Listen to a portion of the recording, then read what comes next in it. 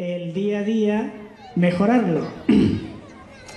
Hace un rato estaba hablando con unos alumnos y la, la, conclusión, porque había un pequeño conflicto, la conclusión era que cada uno puede dar el primer paso para solucionar los problemas. Y hablando de las cosas que podemos hacer, hace poco nos ha llegado una carta del padre Patricio que lo conocemos porque desde el centro, igual que de otros colegios de Fuengirola y de mucha gente, están colaborando.